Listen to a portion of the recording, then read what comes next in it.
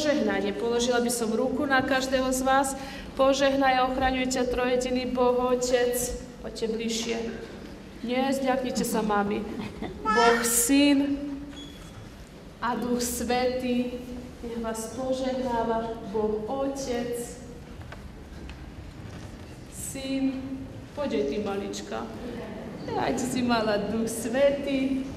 Aj vás dvoch nech požehnáva trojediný Boh Otec, Syn a Duch Svety, nech vám dáva veľa múdrosti vo vašom živote a viery. Amen.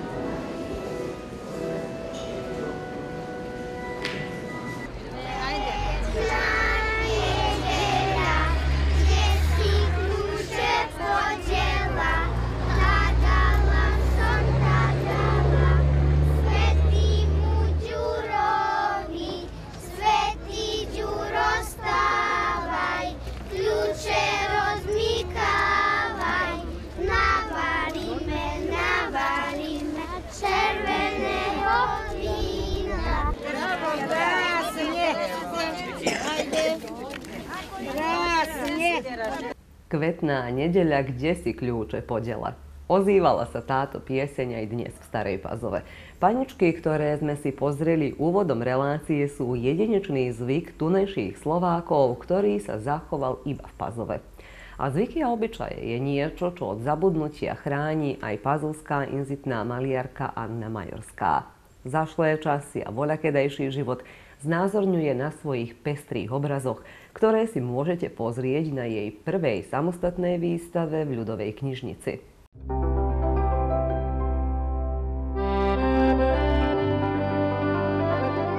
Keď sa začne valiť kopec spomienok, so štetcom ho na obraze pestrými farbami zastaví inzitná maliarka Anna Majorská zo Starej Pazovy.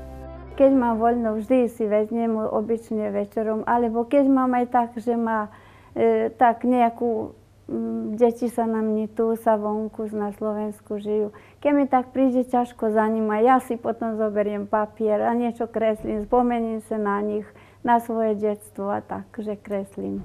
Malujem o našej pázove, naše zvyky, obyčaje.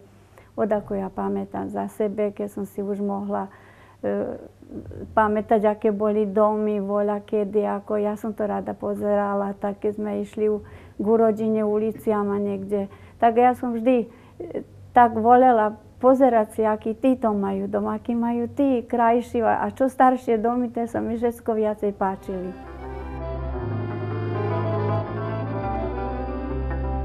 Maľovaním vlastne zaháňala strach počas bombardovania pred 16 rokmi.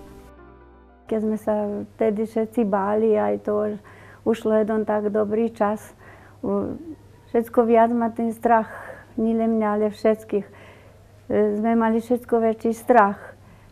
Ja som si v tom našla, aj to náhodou som tak po, počala mať na obyčajný papier voľa, čo písať deťom najprv list, že im niečo napíšem. A potom som počala tak trocha tak kresliť, aj to ma počalo zmierňovať. Aj tak som si ja to vynašla v sebe nejaký duševný pokoj. Potom, keď som počala tak ja som len s ceruzou prvo, tak potom aj s, e, s farbičkami dreveným a potom som si aj, mala som voskové, som sa jej kúpila. Potom som nedbala ani keď boli siréni, ani cez deň, a keď v noci, tak keď bolo svetlo, tak som aj tedy kresle. Hoci čo. Len hlavne som sa naučila dýchať aj sa brániť od toho strachu.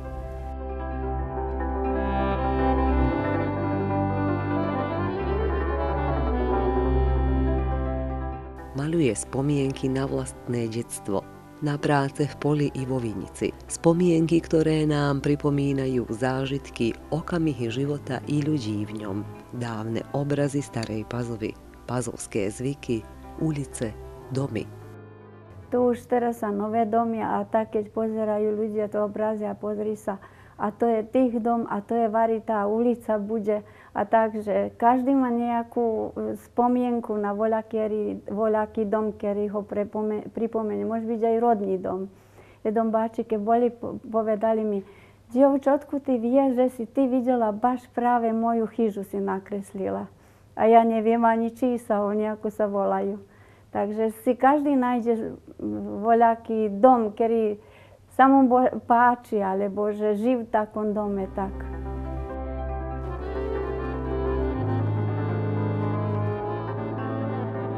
Práce tejto autorky vyžarujú živými farbami. Techniky, ktoré používa, sú ceruska, voskové farby a tempera na papieri, v poslednú dobu na plátne. Omaľováva aj tekvice a vajíčka a svoje obrazy nepredáva. Predala som tak jednému profesorovi, práve odchádzal do, do výslužbe na, vysoké, na vyššej škole tu Pazovec po Delehradu, tak Mirjana Žakulova, že by som aspoň medom nad majú, nad majú ako pamiatku. Že, on tu dlho rokov pôsobil, tak bol tak nadšený, že mu slzy vypadli, že práve, že z Pazova dostal obraz, že o Pázove, o pázovských Slovákov. Že sa mu veľmi páčili naše obyčaje, naše e, kroje sa mu zvlášť páčili, folklór aj tak. Je členkou galérie inzitného umenia Babka v Kovačici. Mám za teraz len tri obrazy tam, ako to poprvýkrát, keď som poslala tak tie obrazy ani, ani vlastne veľmi malo sa tam, oni putujú, cestujú svetom, tak už, už boli na ve, ve, vo, veľa štátov. Počula som Francúzsku, potom, že boli v Ríme, teraz boli na Slovensku a tak. Ani neviem, že všetko boli, ja to len tak skrátka, keď sa počujem s nima, tak viem, kde, kde mi boli obrazy. A najviacej sa zaujímajú modní kreatóri za naše, e, naše obleky. Také, mám také obrazy, kde sa naše obleky znázornené na nich, tak sa všetkým, všetkým páčia tie vzorky, naše kapce, ketenke, sukne a tak tie oplecka.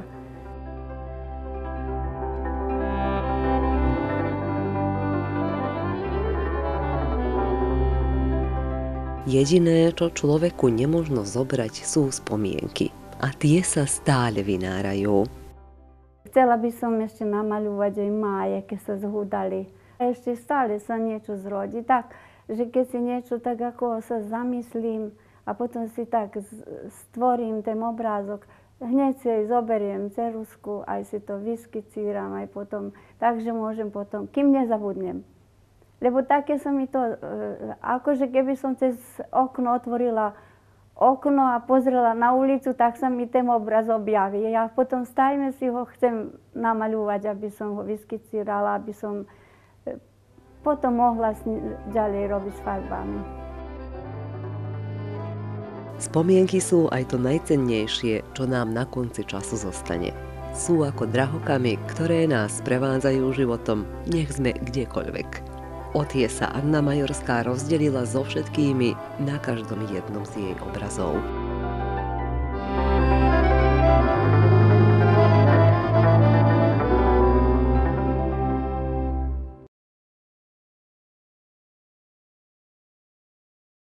Začiatkom marca schválila vláda Srbska akčný plán na uskutočňovanie práv národnostných menšín, ktorý predpovedá akčný plán pre rokovaciu kapitolu 23 Súdnictvo a základné práva. O postavení národnostných menšín v Srbsku s dôrazom na Slovensku pre našu televíziu hovoril Pavel Surový, člen Národnostnej rady Slovenskej národnostnej menšiny a časť z toho rozhovoru pozrime si v pokračovaní ústava, ako aj početné zákony ručia menšinám práva, ako je používanie jazyka písma, školenie sa v materinskom jazyku, tiež aj účasť v politike.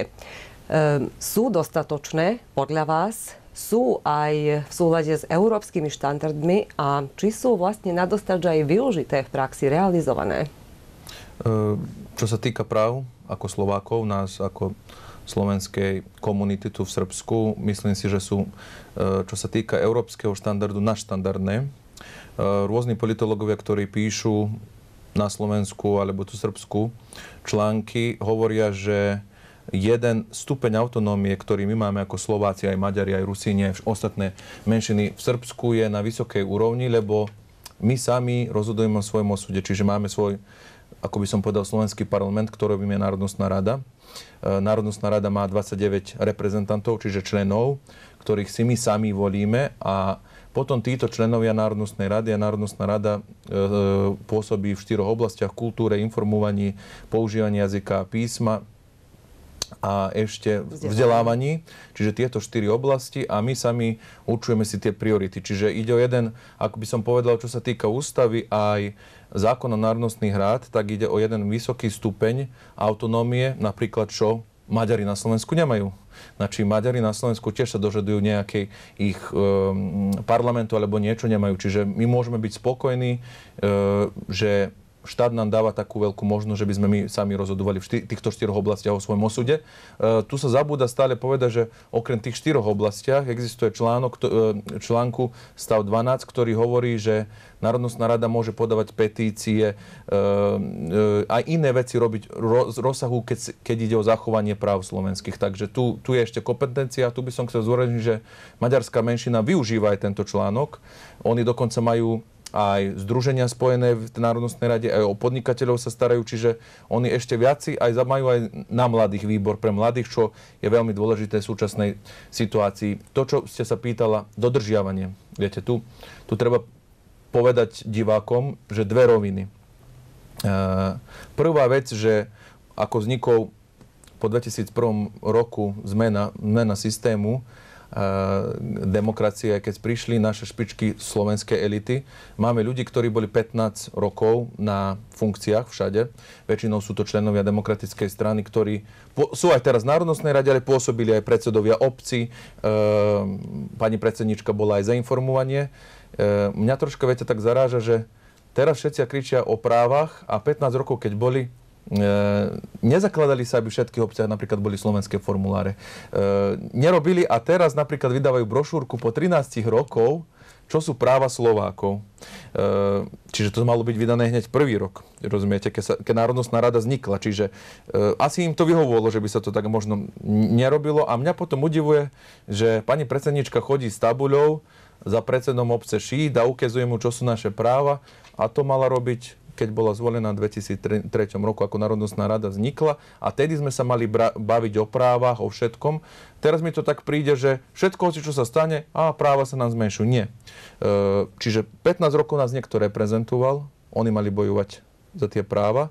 Teraz nastavujú zmeny u nás aj v slovenskej, slovenskej komunite, aj v slovenskom spoločenstve, tak ako aj v Srbsku. E, stane sa, že prídu nejakí noví ľudia a tí noví ľudia budú musieť na jeden konštruktívny spôsob bojovať za tie naše práva. Viete, ja, sa zas, ja som proti tomu. Ja, ja sa zasadzujem proti vykrikovaniu na štát alebo hádaniu sa so štátom alebo prepieraním. To nepomáha nám Slovákom, vôbec nepomáha. Čiže my Slováci mali by sme jedným konštruktívnym, pekným dialogom s väčšinovým národom, lebo náš štát je Srbsko, e, komunikovať a riešiť problém po probléme. Iba tak môžeme, iba tak môžeme niečo zmeniť a dosiahnuť ešte väčšiu úroveň e, tých práv, ale hovorím, ako máme naštandardné práva. Potom to, čo vy hovoríte, realizácie praxi.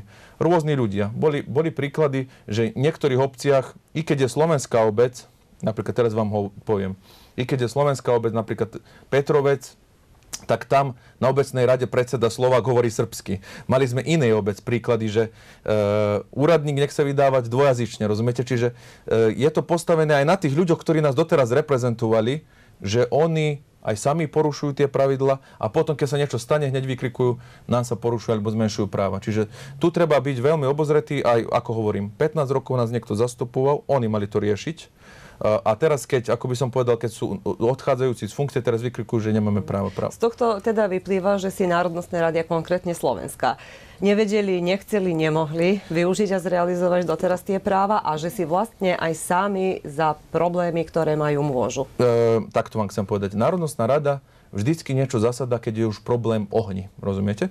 E, napríklad súdna jednotka Petrovci.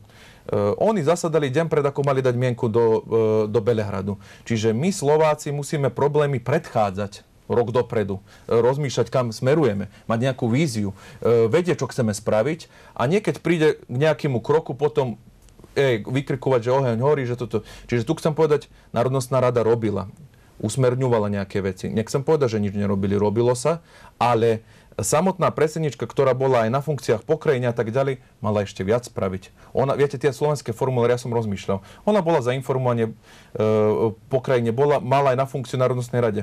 Vo všetkých obciach boli jej kolegovia z politickej strany. Ona mohla jedným telefónom povedať, všetky formuláre po všetkých slovenských obciach, aby to bolo hotové. Viete, a teraz, teraz e, ako ide ten akčný plán, tak teraz, sa, teraz sme sa spamätali, že existujú nejaké práva a vždycky sa spamätáme e, svojich práv, keď idú voľby. Čiže mne, no. mne je to také pokrytecké. Mm. E, tu by som chcel povedať, že Národnostná rada musí predstíhať problémy a nie komunikovať ich, keď už, keď už je neskoro. E, aj čo sa týka aj médií všetkého. Takže to je, to je môj príklad, že musíme mať ľudí, ktorí sa vyznajú. Napríklad my nemáme Národnostnej rade právnika. Ten pra- to je človek, spisovateľ, básnik, nie právnik. Ten nemôže upozorňovať Národnostnú radu, čo máme. A potom sa dostávame do takých problémov, že všetky projekty, ktoré sa chytia, skrachujú alebo meškáme. Čiže za to musí byť, my musíme mať ľudí, e, takých, ktorí sa vyznajú v tej problematike a ktorí naozaj, im je napríklad slovenskosť, aj slovenská komunita v prvom rade a nie, nie honorár alebo nejaký zárobok alebo funkcia. Tedy aj, tedy aj budeme vedieť vykomunikovať tie lepšie právo, čo sa týka. No táto otázka, keď ide o realizáciu práve, nebola um, usmernená konkrétne na Národnostnú radu ako inštitúciu, ano, ano. ale na príslušníkov jednej národnostnej menšiny, konkrétne slovenskej. Ano. Teda koľko si sami ľudia môžu za tie problémy, ktoré majú a koľko vôbec každý jednotlivec sa o takéto niečo zaujíma. Koľko jednému ano. Slovákovi dnes v Srbsku, či už vo Vojvodine, e, znamená to jeho právo, či si ho chce využiť a tak ďalej. Myslím si, že som zodpovedal. E, na jednej strane som povedal, že Národnostná rada je tém nás, ako by som povedal, stožiar ochrany práv, lebo ona sa má zaoberať týmito, aj má dodržiavať, aj pozerať, aj upozorňovať na tie veci, komunikovať. Nemôže obyčajný človek, viete, vy ste ako fyzická osoba, musí komunikovať inštitúcia. To je tá Národnostná rada od 2003 roku, ktorá má komunikovať a ktorá má riešiť. Tu som povedal, že naši Slováci, ktorí nás doteraz reprezentovali, aj boli na funkciách tých obciach, aj všade, oni mali sa zakladať. Aj potom to, čo vy hovoríte, Teraz sa vydala tá brošúrka v 2016 roku, teraz pred no, tromi týždňami bola promócia. Čiže my sme sa spamätali na svoje práva po 13 rokov existencie Národnostnej rady. Čiže občan teraz dostáva tú brošúrku, ale čo sa robilo za tých 13 rokov, to chcem povedať, že tedy sme nepociťovali, teraz keď idú voľby, tak hovoríme o právach. Takže to chcem hovoriť, že treba robiť o právach, keď nie sú voľby, aj to riešiť a nie teraz potencovať, e, ako by som povedal, nejaký, nejaký, nejaký súboj Národnostná rada, republika alebo, e, alebo voči väčšinovému národu, keď to nie je miesto, aj e, voľby sú o niečom inom a nie, nie o... Čiže problémy sa mali riešiť skorej. Už ste sa dotkli Národnostnej rady, ktorá teda bola založená v roku 2003. Koná si svoju úlohu naplno, či vlastne rovnomerne voči všetkým príslušníkom Slovenskej národnostnej menšiny tu na? Národnostná rada je náš orgán štátny, ktorý bol založený, že by si Slováci sami učovali tú kultúrnu autonómiu. Myslím si, že e, v nejakých obdobiach si aj konala. Nemôžem povedať, že všetko je zlé, ale v súčasnosti to, čo zažívame my, aj naši členovia, to je, že Národnostná rada odadzuje 30% Slovákov, e, ktorí chcú nejaké zmeny a inak pracovať. Čiže to je prvý, prvý problém, že vy ignorujete 30% Slovákov, ktorí hlasovali za nás, e, za Slovákov pred, musím povedať, ako listina, ktorá sme vyšli. E, druhý problém máte, e, museli sa všetky listiny, musela sa listina Anny Tomanovej Makanovej, musela sa listina Lígy Slovákov Vojvodiny, aj e, Matica Slovenska, ktorá si vzala na listinu politikov, Matica by mala byť apolitická inštitúcia, a tieto tri listiny sa museli spojiť proti nám. A Národnostná rada by nemala byť politickou inštitúciou a súťažiť, ktorí politici. Tam by malo pracovať všetci spolu. Ale ako, ako vidíte, e, tieto tri listiny, aj politika zamiešala karty, a že sme mali my slovko vpred v našom názve, tak asi sme im nesympatickí. Uh, tu chcem povedať, že uh, to, teraz vám dám príklady, že by diváci pochopili konečne, lebo bol, bol som aj v Starej Pazove, sme sa rozprávali. Viete, keď máte spolčenie tri tri listiny, ktoré vám ne, keď vám neprejde ani jeden návrh, my podávame konštruktívne návrhy. Treba do RDVíku to, treba do Sriemu to, treba pomôcť tam. Oni všetko zamietajú. A potom sa môže zdať divákom Starej Pazove, že keď ja to tam troška ostrejšie hovorím, ale to je jedna, ako by som vám povedal, ste bez nádeji, že nič nemôže prejsť tak ten hlas aj povýšime. Lebo proti takým veciam, a teraz keď divákom poviem, čo sú tie problémy, tak si myslím, že dajú mi zapravdu, že všetko, čo hovorím, aj možno keď ten tón máme niekedy vyšší, ale viete, vy ste bez nádej, vidíte, ako vás ignorujú, ako sa vám vysmievajú. Nechcú zapojiť všetkých Slovákov, tak musíme používať niekedy troška aj zvýšiť hlas, ale vždycky argumentovanie. My nikdy neobvinujeme niekoho na nejakej osobnej úrovni, alebo niekoho toto obvinujeme ich len s argumentami. Čiže my chceme, že by Národnostná rada bola zapojené všetky listiny nevylúčiť ako našich 30%, že by sa všetci spojili. To, chceme, to sme navrhli na druhom zasadnutí Národnostnej rade, e, kde neprešiel tento návrh. Čiže tieto tri listiny, tu najviac dopomohla Matica Slovenska, aj tí politici, že zahlasovali aby mandát predsedničky bol na, dva, na, dva, na ona 11 rokov predsednička, čiže sme navrhli, že by bola len dva mandáty. Ona je už tretí mandát. Navrhli sme, že by všetky listiny mali aj podpredsedu, e, rovnomerne keľko mali hlasov, aby mali predsedu výboru, aby boli vo výkonnej rade aj vo všetkých výboroch a komisiách. Čo je logické, lebo e, viete, vy ste si, stu, oni, si stvor, oni si sami do, dopriniesli aj triešťa Slovákov, lebo našim sloganom je spájať Slovákov. A spájať Slovákov sa tak robí, že všetkých zapojíte. Momentálne je na školách aktuálny zápis detí do prvej triedy. Okrem stáleho znižovania počtu detí, viditeľná je aj stagnácia počtu detí, ktoré sa vzdelávajú v materinskom jazyku. V Slankamenských vinohradoch sa žiaci vyučujú po slovensky iba v nižších ročníkoch, a to vo vysunutom oddelení základnej školy 22. júla v Krčedíne, kde pokračujú v školení vo vyšších ročníkoch, ale v Srbčine. V tomto školskom roku v Slankamenských Vinohradoch v kombinovanej triede po slovensky sa vyučuje 6 žiakov. Podvaja žiaci v prvom, druhom a treťom ročníku, kým štvrtákov nemajú. Rodičia majú záujem o to, aby sa deti učili po slovensky, ale žiaľ, školopovinných detí je málo. Výhoda e, práce s nimi je, že e, s každým sa pracuje osobite, znamená individuálne počúvajú, znamená ticho je na hodine, spraví sa oveľa viacej. Môžem načas preveriť všetko, čo si oni napísali, ako pracujú doma, v škole, znamená to všetko ide ľahšie. Nevýhoda je možne preto, že oni, znamená, ja mám, prednášam aj v prvej, aj druhej, aj tretej, to sú rôzne metodické jednotky. Takže tu trošku ja mám námahu, aby som to všetko pripravila, ale stačí mi všetko spraviť, ich je málo, počúvajú, takže mne sa páči tuto pracovať s nimi. Majú aj mini knižnicu, v ktorej majú okolo 70 kníh priliehavých pre deti a vďaka jednému spoluobčanovi aj bezplatný internet. Najzaujímavé telesná hračka od počítaču a kreatívna. A čo robíte na, tom, na tej kreatívnej hodine? Pa robíme ako... Ručné práce? Áno. A čo ste robili napríklad? Pa robili sme za mami dary. A sme boli aj recitovali. Mali ste program? Áno. Deň Matiek pre mamičku moju milú, ktorú rada mám, veľké srdce namalujem k sviatku jej ho dám. Na deň Matiek darujem jej jednu malú básničku, mamička hneď bude mať krásny úsmev na ličku. Volím na matiku srpske i likovno. Na likovne s mame robíme, mama robíme darčeky, čo si urobil teraz pre mamu? korpenke. Mamičke, zima je a kvietky zľadoveli všetky. Mne pre teba, mamička, chýba čerstvá ružička. Mám var preto plakať. Či do leta čakať? Nie, boskam ťa na líčka, hneď sú sama ružička. Príznačné pre mojich žiakov je, že sú oni vášniví e, ekológovia, takže e, plechovice zbierajú.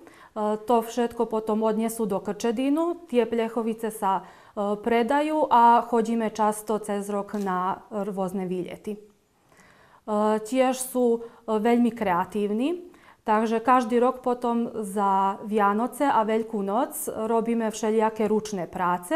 Tiež chodíme do Krčedinu, tam to predávame a sme si zarobili pekný, pekné peniaze, takže sme si kúpili tlačiareň aj digitálny fotoaparát. Pripravujú programy k Sviatku svätého Sávu, k Dňu žien a matiek a zúčastňujú sa vo všetkých programoch na škole v Krčedíne. Aby sa vždy usmievala na ličko ju poboskám, aby sa vždy usmievala na ličko ju poboskám. Mamka moja, mamka drahá, budem dobrý, sľubujem, pretože ťa veľmi ľúbim, srdiečko ti darujem. Pretože ťa veľmi ľúbim, srdiečko ti darujem.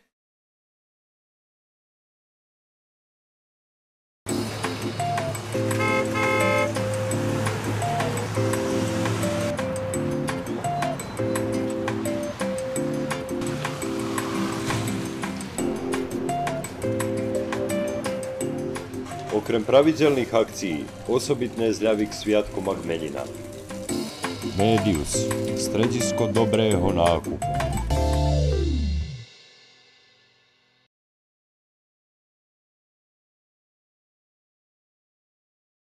Po vyše dvoch týždňoch poľnohospodári pokračovali s prácami na poliach, ktorých ich hačilo predošlé daždivé obdobie. Momentálne je aktuálne prihnojovanie ozimných siačín a čím skôr treba začať aj s oračkou. Pazovskí poľnohospodári pred početnými prácami vykonali aj rovnanie poľských ciest. Pekné počasie využili pazovskí poľnohospodári na úpravu poľných ciest. Obvykle znamená, hľadíme, aby bola sobota, znamená, zorganizovali sme 8. akciu. E, toho roku máme 6 ekipov po 7 traktorov v každej ekipe. Obľahčí to prístup do územia poľnohospodárskej výroby. Po 8 rokoch znamená, ako, ako už organizujeme tieto akcie, e, konečne môžeme vidieť, že, e, že sú cesty už naozaj dobrej kondícii, tak sa tak vyjadrím. E, znamená, hľadíme, aby sme si e, merkovali tieto poľné cesty, aby sme na, na taký spôsob, cez takéto akcie rýchlejšie prídeme do svojich parcelov a normálno skrátime si čas práci a čo je najdôležitejšie, na takýto spôsob aj s takýmato cestami aj naše traktory a prívesy môžu, môžu ostať, znamená, aby sa nepokazili a tomu podobné. S poľnohospodárskymi prácami sa pre predošlé daždivé obdobie trochu mešká. Týchto dňoch znamená prebieha aj druhé druhé prihnojovanie pšenice. Znamená, mešká sa troška aj, aj so sejbou cukrovej repy. Normálne e, poveternostné podmienky to nedovolili. Verím, verím, že v budúcom perióde sa začne aj s tým. A v akom stave je pšenica? Koľko, koľko sme mohli vieť e, v dobrom stave, znamená ešte po tomto druhom prihnojovaní a normálno tu už aj, tu nás už aj čaká postrekovanie od burinov v pšenici, takže za teraz môžeme byť spokojní. Zo Staropazovského združenia poľnohospodárov apelujú, aby po rovnaní svojich parciel nevynášali majitelia a obrábatelia zem na úrate. Vo vyše 178 krajinách sveta uskutočnila sa včera najväčšia volontérska akcia Hodina za našu planétu, ktorá je výzvou pre každého obyvateľa planéty, aby symbolickým zhasnutím svetiel na jednu hodinu podporil boj proti klimatickým zmenám a svetelnému znečisteniu. Srbsko sa do tejto akcie zapojilo 8 krát a v týždni za nami Pripomenuli sme si aj Deň spotrebiteľských práv. V spotrebiteľských organizáciách považujú, že je ochrana práva záujmov spotrebiteľov Srbska nedostatočná, ale značne lepšia než skôr. V Lani bolo 14,5 tisíc pripomienok spotrebiteľov, 2000 menej než v roku 2014. Vzdelaný spotrebiteľ, ochránený spotrebiteľ, odkazujú z Centra pre ochranu práv spotrebiteľov India. A či spotrebitelia v Srbsku vedia svoje práva. Imamo mi svakojaka prava, ali male vajde o tom. Pravo vam kažem, ja za sad nisam se toliko ni interesovao i ovako zavisi na što mislite šta se kupuje ili to ili... Jeste nekad bili u nekoj neprijatnoj situaciji? To nisam. Nisam do sad nikad bio niti što se tiče računa, niti to. Postoji zakon, ja sam advokat po, po struci, tako da znam. Uglavnom, uglavnom, samo teško je ostvariti ih. Nisam se informisala, mislim, pretpostavljam da postoje prava za koje nisam ni znala da ih imam. Jedno zo základných práv spotrebiteľov sú presné údaje o tovare či službe. Deklaracije su bolna tačka i dan danas. A ja se sećam pre devet godina. Ima negde naša poruka gde samo lupu možete poneti, vi mlađa dama lupu i da deklaraciju pročitate. Onda lepljenje jedne na drugu, pa možete čak i tim tragom doći do nekih podataka koji su strašni. Upravo kad se radi o hrani, ne znate šta ste kupili. Spotrebitelia sa najviac ťažujú na obu, mobilné telefóny, počítače, nábytok, televízore a odev. Tí, čo mali zlé skúsenosti, nechceli o tom hovoriť. A ako to vyzerá z uhla predavačov? Nezadovoljstvo kupaca kod nas u suštini i nema. Desi se greškom, navišću primer radi što se desilo ovih dana, dešava se, roditelj pošalje dete da kupi primer prašak tipa Đurđevak, dete pogreši kupi drugi prašak, planinsku svežinu. Znači u tom slučaju e, naravno prihvatamo reklamaciju. Inače u svakom slučaju prihvatamo reklamacije kupaca jer e, najveći uspeh nas trgovaca je naravno pohvala potrošača i nama je cilj uvek da potrošač, ali baš uvek izađe zadovoljan iz našeg marketa. Od roku 2002 do roku 2014 boli zmenené až 4 zákony o ochrane práv spotrebiteľov. Odborníci považujú, že je platný najlepší, ktorý okrem iného predpisuje, že dva roky má kupec právo na opravu alebo zámenu tovaru či služby aj v prípade, že nedostal za to záruku. V pokračovaní relácie aj niečo pre tých najmladších divákov, no nie iba pre nich. Pokračujeme s bábkovým seriálom Govoriteli mrňao. Mimozemšťan sa učí po slovensky.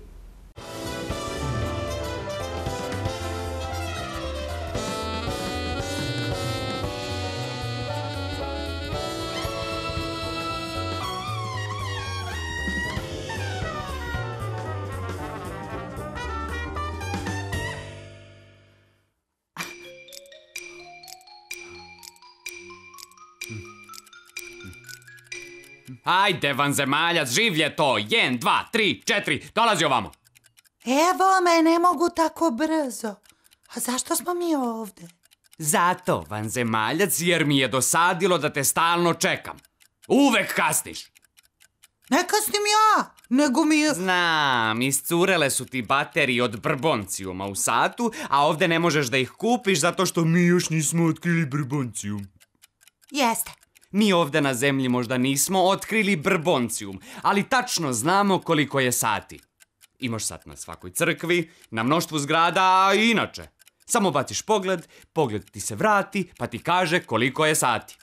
Lepo, ali meni treba, znaš, da Ništa ja... mi, vanzemaljac, ne treba da radimo dok ti ne naučiš da gledaš na sat. A najbolje ćeš naučiti ovde, u muzeju vremena.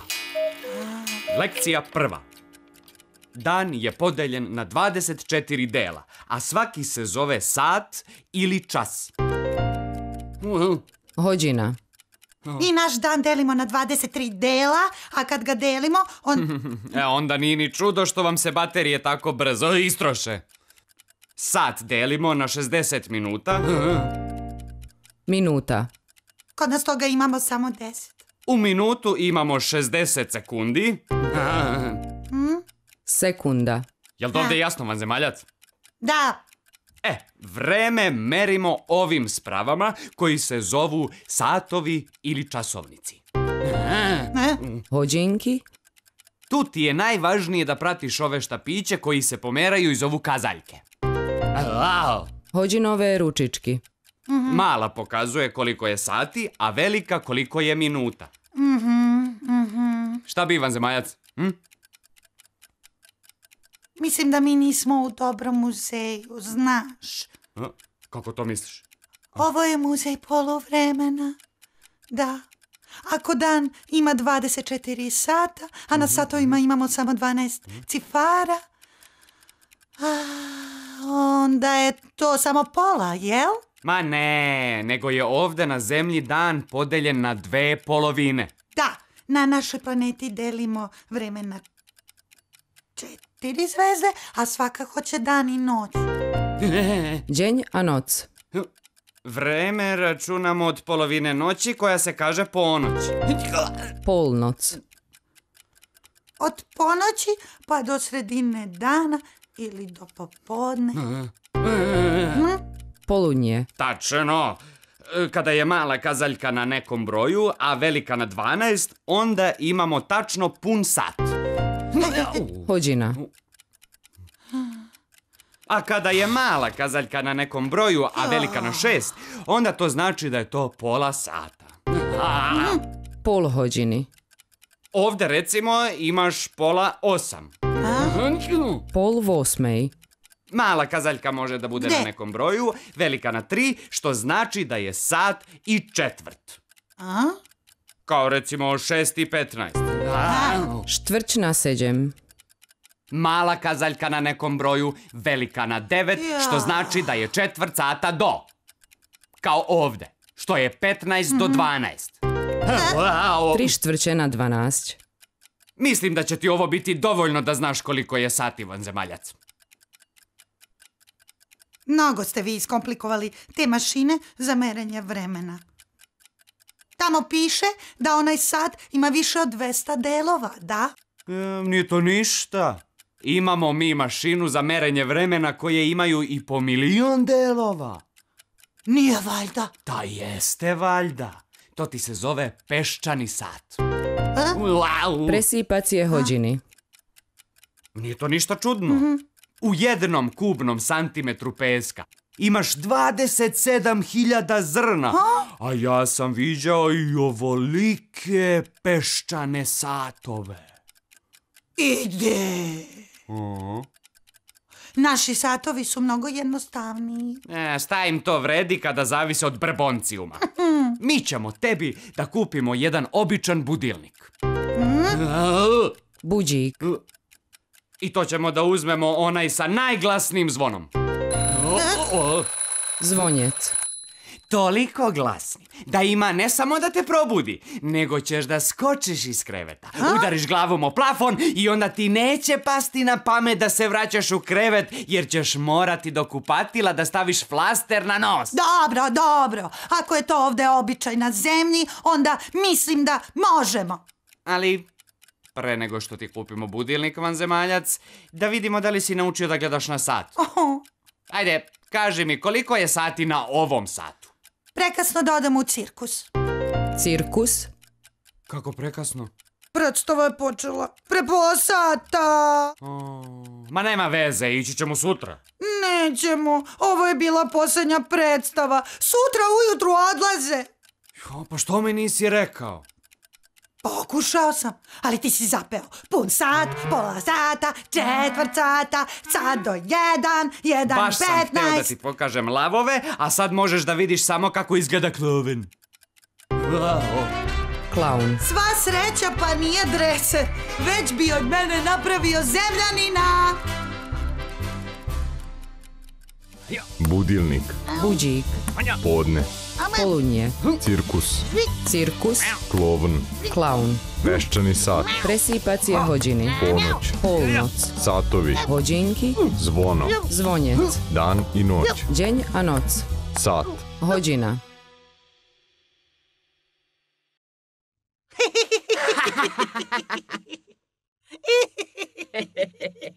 Yeah.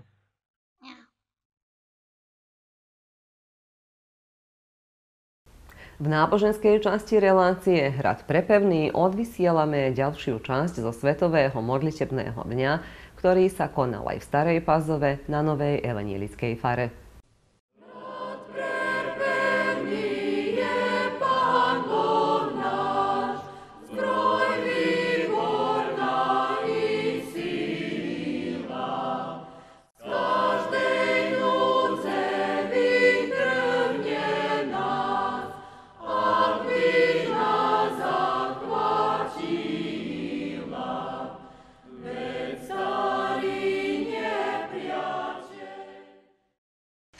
Izajovho pňa vzíde ratolesť a z jeho koreňov vyrastie výhonok.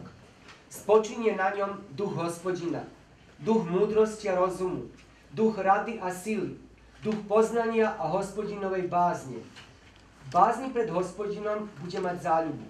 Nebude súdiť podľa vonkajšieho zdania, ani nebude rozhodovať podľa toho, čo predtým počul. Ale spravodlivo bude súdiť slabých a nestranne rozhodovať o ponížených v krajine.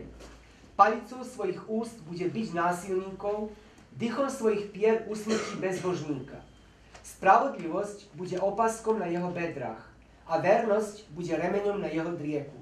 Vlk bude ako host baránka, leopard bude odpočívať vedľa kozľaťa. Teliatko, levíča a vykrmený vol budú spolu a malý chlapček ich bude zaháňať. Jalovica sa bude pásť s medveďom, ich mláďatá budú spolu polihovať a lev bude žrať slamu ako vol. Nemlúňa sa bude hrať na dierou zmie a bábetko rukou siahne do diery vretenice. Nikde na mojom svetom vrchu nebudú robiť zle ani škodiť, lebo zem sa naplní poznaním hospodina, ako sa more naplňa vodami. V ten deň začnú prúdiť národy ku koreniu Izaja ktorý sa týči ako zástava pre národy a jeho príbytok sa stane slávnym.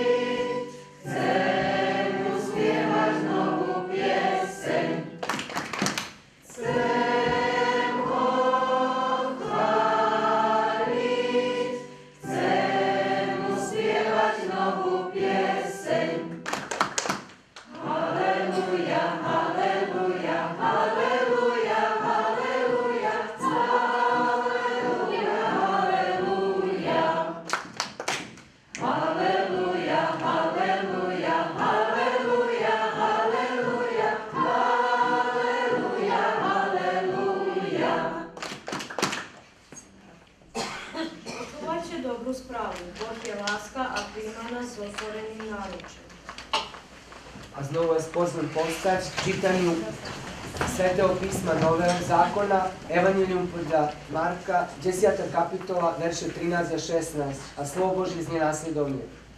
K Ježišovi prinášali deti, aby sa ich dotkol. Učeníci im však dohovárali. Keď to Ježiš zbadal, rozhorčil sa a povedal im, nechajte deti prichádzať ku mne a nebránte im, lebo takým patrí Božie kráľovstvo. Amen, hovorím vám. Kto nepríjme Božie kráľovstvo ako dieťa, nevojde do ňa.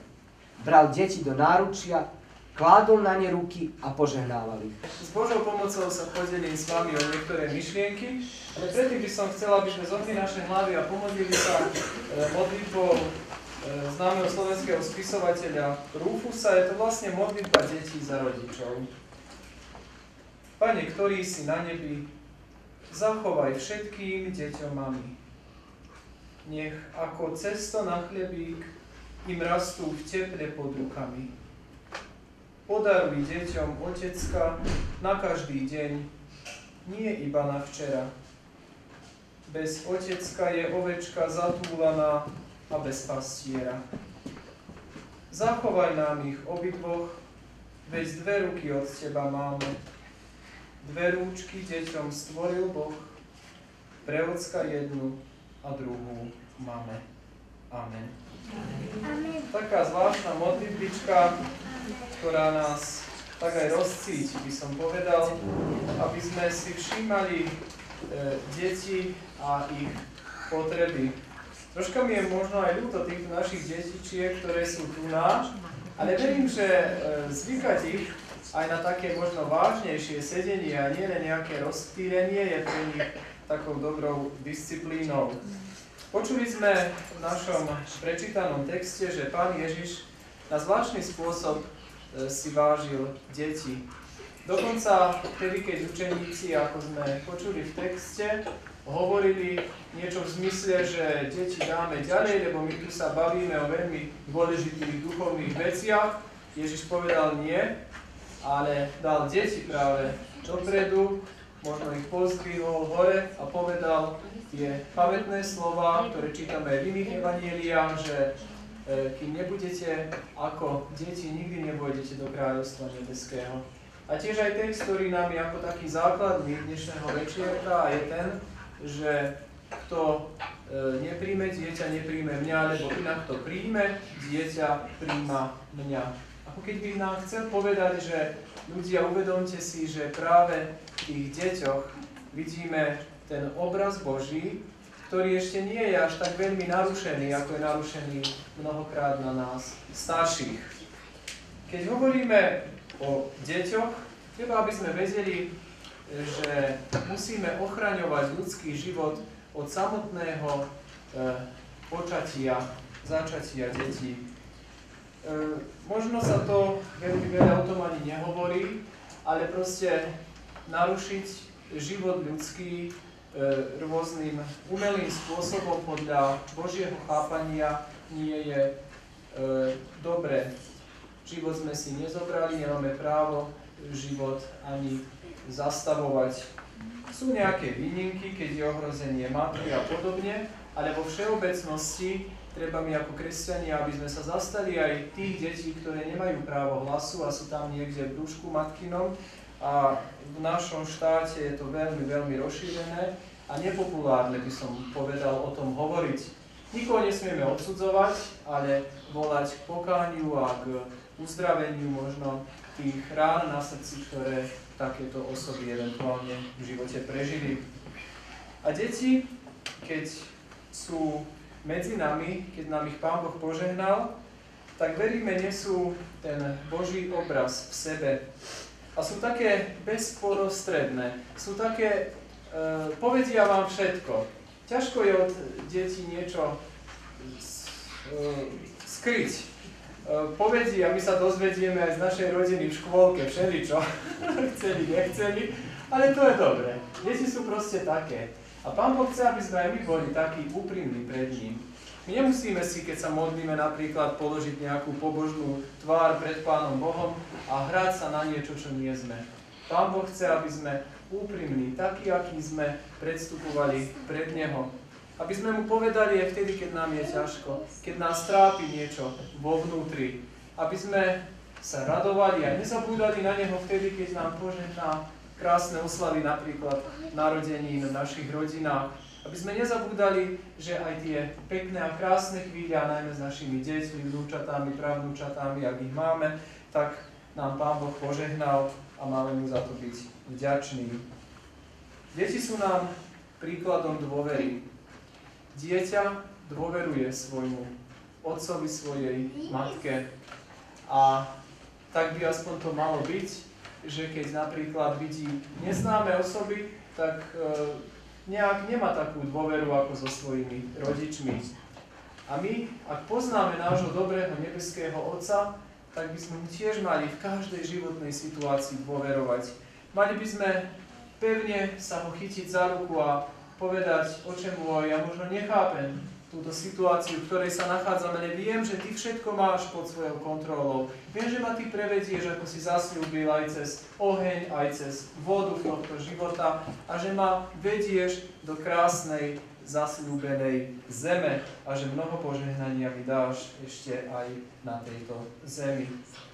Pán Ježiš sa rozprával s jedným známym mužom Biblii, ktorý sa menuje Nikodem a tam boli vyrieknuté e, pamätné slova, ktoré učíme aj našich konfirmandov ako suma Božieho Evanielia. Lebo tak Boh miloval svet, že svojho jednorodeného syna dal, aby nezahynul, ale väčší život mal každý, kto verí v Neho.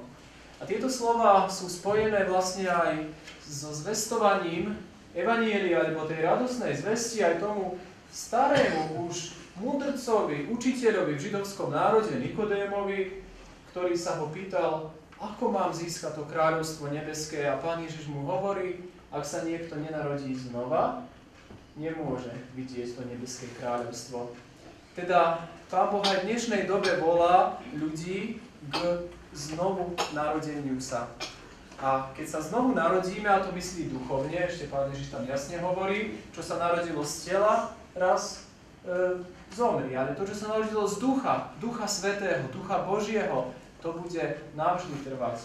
A preto aj dnes voláme ľudí k znovu narodeniu sa a to cez slovo Božie a cez krst, ktorý je pokrstený, má sa dať aj pokrstiť. A ja by som chcel pri východe z tohto nášho spoločenstva, ktorý ste si včera na biblickej nezobrali, tento krásny biblický citát a vysvetlenie tohto citátu, e, si to môžete vlastne prevzať, tu na to bude a môžete mať takú peknú pamiatku aj na dnešný večierok a aby sme si spomenuli na to, že aj my sa máme znovu zrodiť a stať sa vlastne tými Božími deťmi, o ktorých sa Pán Boh bude mocne v živote starať. Hovoríme, že deti sú naša budúcnosť. Pre mňa deti sú naša budúcnosť, ale o mnoho dôležitejšie je to, aby sme si uvedomili, že deti sú naša prítomnosť. A dnes, aby sme v našich životoch mali čas pre svoje deti, vnúčatá, z príbuzenstva deti, lebo žijeme v takej urýchlenej dobe, keď e, je veľmi veľa iných záväzkov, keď mnohokrát rodičia musia dlho pracovať, aby zabezpečili živobytie pre svoje deti, keď mnohokrát sú deti odkázané na počítače, televíziu a verte mi, e, nie len dobre tam môžu získať. Ehm, predminulý týždeň som sa dozvedel informáciu, že v Nemecku vraj psychológovia a kresťanskí rodičia, vôbec rodičia iní, ohraničujú deťom prístup na internet iba pol hodiny denne. Koľko naši rodičia dajú priestor na internet pre svoje deti? A to pod dozorom, nie že by oni išli kde chcú. A ak nájdu, že sú deti na tom internete, robia niečo, čo rozvíja nejaké motorické schopnosti, intelektuálne a tak ďalej, tak predlžia aj to. Ale naozaj zistili psychológovia, antropológovia a tak ďalej, že treba, aby sme dbali v dnešnej dobe, čo deti pozerajú, čo do seba vnášajú. Lebo budeme prekvapení, že koľko bude v budúcnosti eh, aj násilia, aj nevražednosti, aj negatívnych javov, Práve preto, že naše deti e, hľadia také v televízii a na internete a podobne. Teda toto je také trošku aj varovné slovo. Naše deti treba, aby vždy mali pocit bezpečia. Nezabúdajme každé dieťa, ktoré poznáme, objať a povedať mu, že je Božie dieťa, že je jedinečné, že ho milujeme a aby sme mali času pozerať sa mu priamo do oč. Málo trávime čas pozerajúc sa druhých priamo do oč.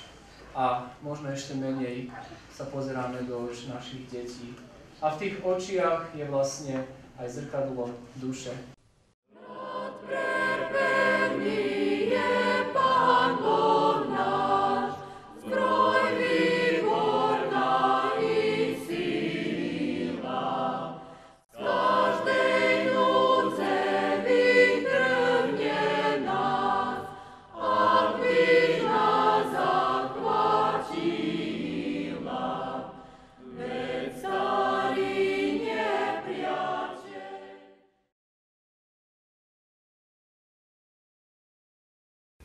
Hoci sa Veľká noc slávi každý rok v inom termíne, ako by to bolo, keby sa k nej neviazali aj nejaké ľudové pranostiky. Aká kvetná nedeľa, taká Veľká noc. Ak je zelený štvrtok biely, bude teplé leto. Ak prší na Veľký piatok, možno dúfať v dobrú úrodu, alebo na Veľký piatok, ak poprcha, to nám požehnaný dobrý rok sľubuje. Ak prší na Veľkonočnú nedeľu, bude v lete núdza o vodu. Pekná Veľká noc, požehnaná úroda. Bez ohľadu na počasie my vám želáme krásne veľkonočné sviatky. Strávte ich s vašimi najmilšími a hodinku venujte čas aj nám, aj na budúcu veľkonočnú nedeľu. Budeme sa na vás tešiť. Dovidenia, všetko dobré.